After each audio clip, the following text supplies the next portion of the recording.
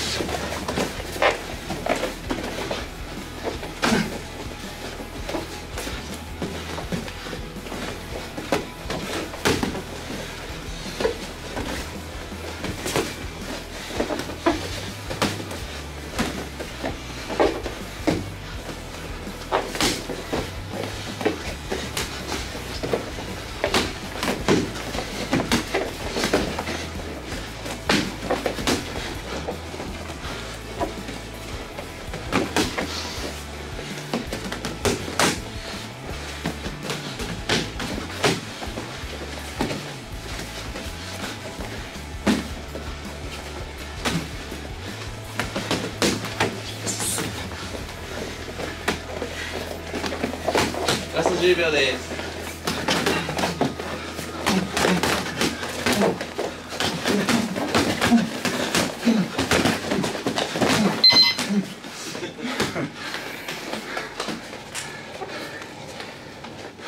じゃあいきます。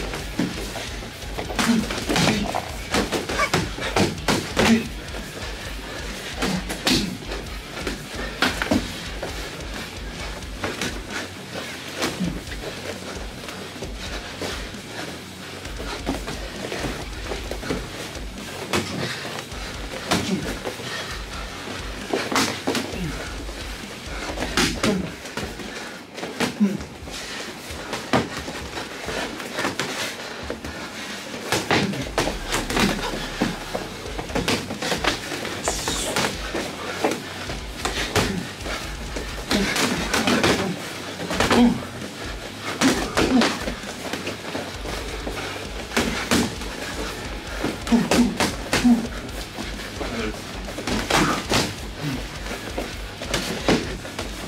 30です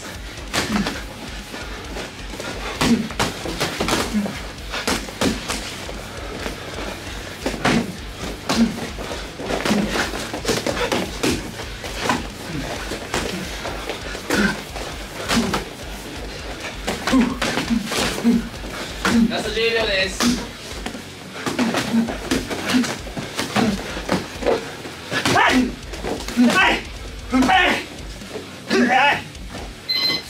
あっしゃーあいいねうわ強いわあきつい本番に強いタイプスイッチ入った瞬間めっちゃ強くなった田中圭さんありがとうございますよっしゃありがとうございます面白かったありがとうありがとうございますスイッチ入入る前と入った後絶対連れちゃったやっぱ気合いの人やな。いやージョリードめっちゃいいんじゃない？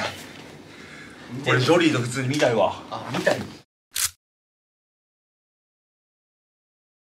やっぱ技術レベルがどこっていうかはやっぱ目がめちゃくちゃいいわ。ありがとうございます。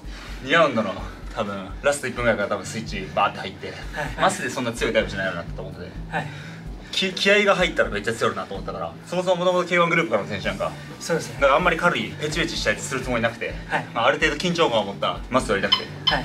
めっちゃ良かったです。ありがとうございます。素人から始めてやっぱその時からもうルキア選手なんて第一線でへ活躍してる選手だったんでこうやって戦っていた戦っていただいて。えまあラップの舞台も戦ってるからな俺は。それは第一線よ。いやでもやっぱりね格闘技はやられそうなしんどい時にあの目で前に行けるやつが結局勝つんですよね。はい。もう基本的に。はい。もう8割9割そうなってて。でも最初気持ちいいやつ勝つじゃないですか。そこの辺が多分俺ブレイキングダウンの中の俺選手のうちの一人やと思って。んだからヒロヤとかあそれこそヒロヤと戦って。はい。俺あれ地元の後輩で。はい。ヒロヤとかとも同じなんか格闘家の目つきしてるから。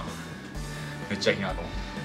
普段どこで練習してるんですか？いやもう普段僕その K1 グループ抜けてうん。所属ジムとかはそれはなくて。あそうなんですあのここが今ライジンで活躍しているはい。滝沢健太さんのジムなんですけど、はいはい。その練習場所とかをまあお借りさせていただいて、うん。ここにそのプロ選手呼んで戦わせていただいたりとか。だから俺8池袋月のはい末にジム出すんですよ。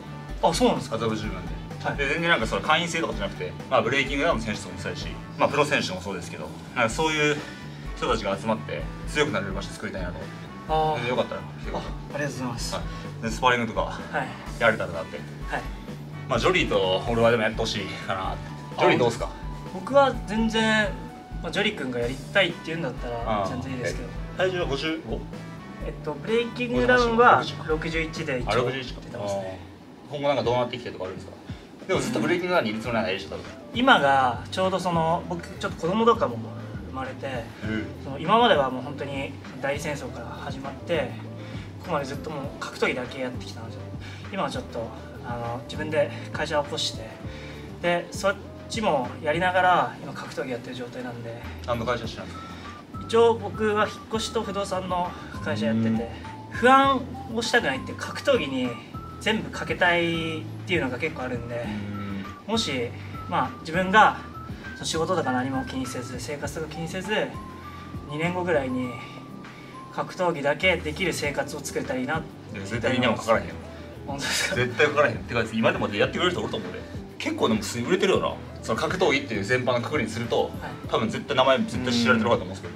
結構いろんなこと考えちゃう性格なんですか？例えばビジネスもしたいとか。そうですなん格闘技かもしたいとか。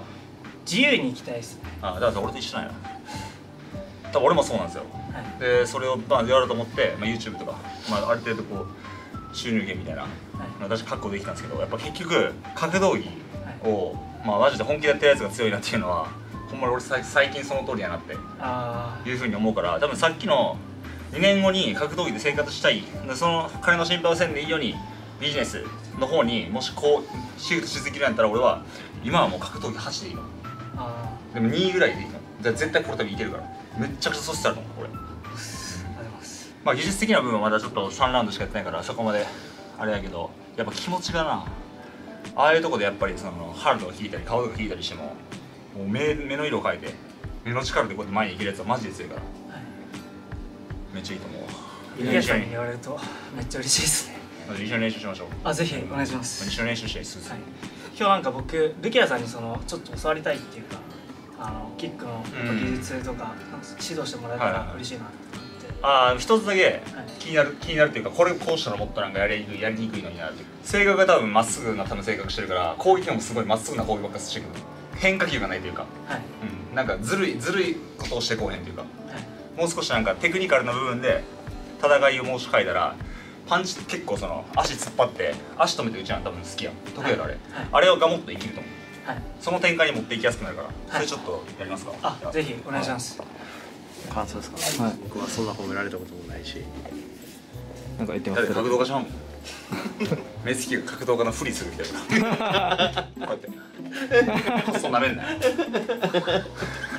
細なめんなよ。全然めちゃでも1ラウンドはてるくんめちゃくちゃいいかもしれないです。あマジで？1ラウンドだけ。いやでも復活したら多分変わってる。思いますか？怪我も治ってきて多分そんな身だしなみも強スイングだったからなんか ホームレス始めたてるやつ。ホームレス入門したやつ。言わしといたらいいんですよ。今今だけ言わしといたらいい髪もめっちゃ伸びてんねもうほっといてくれ俺のことはもう。はい、じゃあ続きは富澤君のチャンネルの方で、えーまあ、ちょっと軽く大釜シーンですけど指導させてもらってますんで。大釜シーンと思ってませんが、はい、ぜひそちらもご覧ください